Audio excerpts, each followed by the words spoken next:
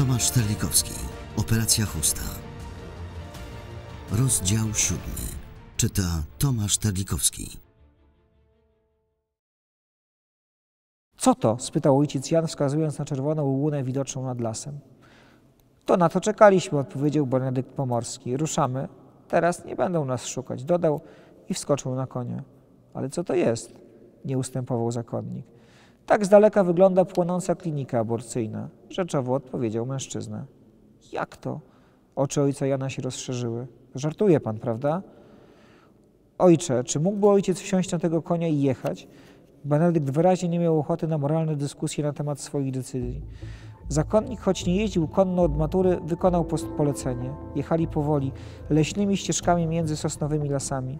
Słońce schowało się już za horyzontem, a las oświetlony był tylko łuną pożaru. Wreszcie ojciec Jan nie wytrzymał i podjechał do Benedykta. Pan to mówił poważnie? zapytał. Poważnie. Chłopcy podpalili klinikę, pustą, podkreślam. A zrobili to tak, by zobaczono tam buddyjskiego mnicha. Teraz wszystkie siły są tam rzucone, a my spokojnie wyjedziemy z lasu.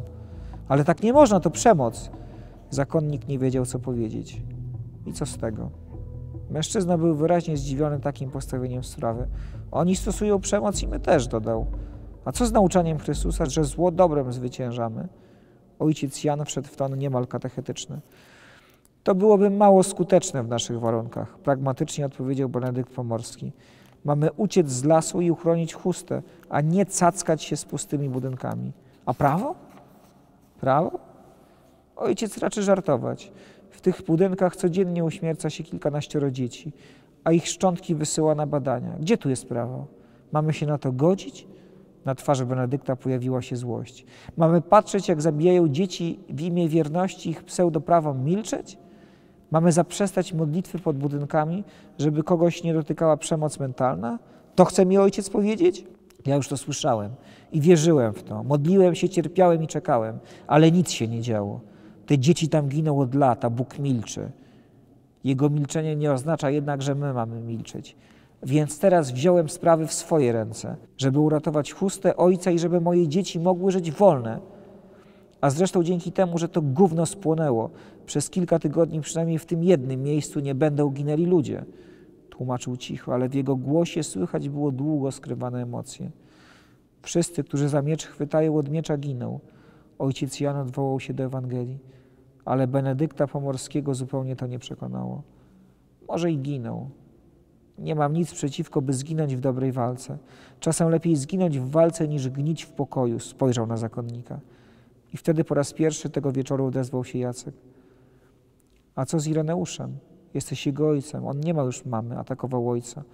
Łatwo jest walczyć, ale on nie potrzebuje, żebyś był bohaterem, ale żebyś był z nim. Benedykt nie odpowiedział od razu.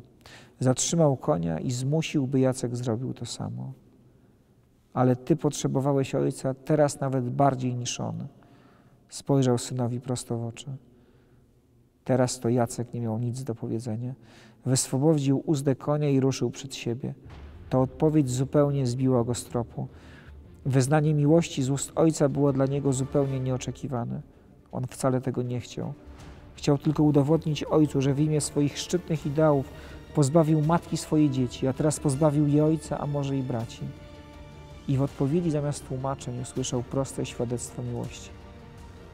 Twoja mama ratowała Irka, ja ratuję Ciebie, dotarły do niego słowa ojca. Do oczu napłynęły mu łzy, ale się nie odwrócił. Milczał. Nie chciał i nie potrafił jeszcze odpowiedzieć ojcu. Cofnął się i jechał obok Zosi. Zmierzali do Ryk. Tam kończyła się strefa ochronna. W mieście tym była jakaś niewielka, nielegalna wspólnota, gdzie być może będą mogli się przespać i coś zjeść.